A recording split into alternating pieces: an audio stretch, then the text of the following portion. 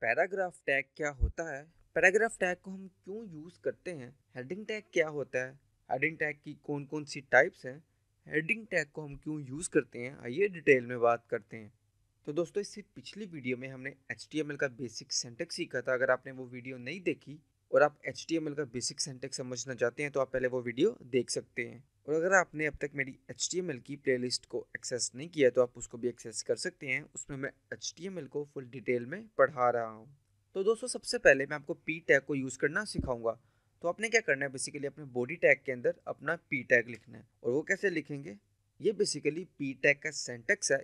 इस तरीके से आप लोग पी टैग लिखेंगे और पी टैग का मतलब है पैराग्राफ टैग जब भी आप लोगों ने कोई डिटेल लिखनी है, कोई डिस्क्रिप्शन लिखनी है, कोई डिटेल सा पैराग्राफ लिखना हो, तब आप लोग बेसिकली पी टैग का यूज़ करते तो गैस मैं यहाँ पर कुछ भी लिख देता हूँ।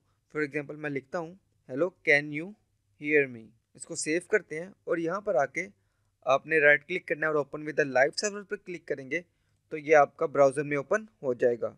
अब हम गाइज़ आप देख सकते हैं, जो भी हम लोगों ने ब्राउज़र में लिखा था, वो हमारा यहाँ पर आ चुका है। यही बेसिकली पी टैग का काम होता है, जो भी हमारा पैराग्राफ टाइप कंटेंट होता है, जो हम लोग वेबसाइट में दिखाना चाहते हैं, वो बेसिकली हम लोग पी टैग के अंदर लिख लेते हैं। तो गैस एक वेबसाइट आपके सामने ओपन है, इसमें ये जो something knows about are cases लिखा हुआ है, ये बेसिकली पी टैग में लिखा हुआ है। आप इसके सोर्स कोड में ये जाके देख सकते हैं, इसका सोर्स कोड कैसे ओपन होगा।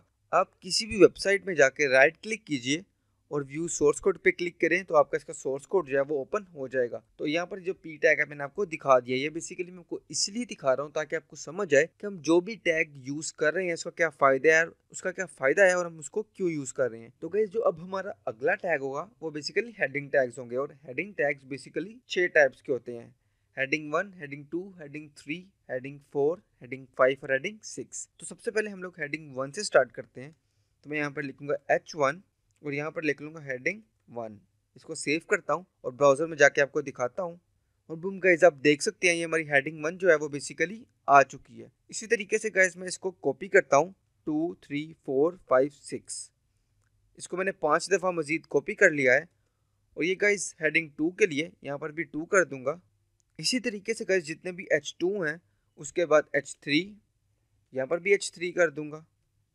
Heading four H four H five H six तो गैस जितनी भी हमारी हेडिंग्स थी, वो बेसिकली हमने लिख ली है। अब मैं आपको इसको ब्राउज़र में जाकर दिखाता हूँ।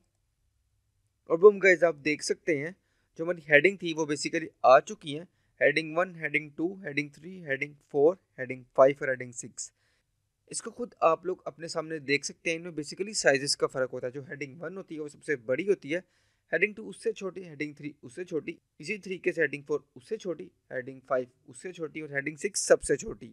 तो गैस जो भी वेबसाइट का लेआउट आपने बनाना हो मतलब जैसी वेबसाइट आपने बनानी हो, अगर आपको हेडिंग बड़ी चाहिए तो आप एच वन टैग का यूज़ करें। अगर आप चाहते हैं, नहीं यार, हमें हेडिंग छोटी चाहिए तो आप एच टू का यूज़ करें और अगर आपको सबसे छोटी चाहिए तो आप एच सिक्स का यूज़ करें। ये बेसिकली आपके ऊपर है कि आप हेडिंग बड़ी दिखाना चाहते हैं कि छोटी। सो आई होप गाइज़ आपको ये वीडियो पसंद आई होगी। Thank you so much guys you all have a good day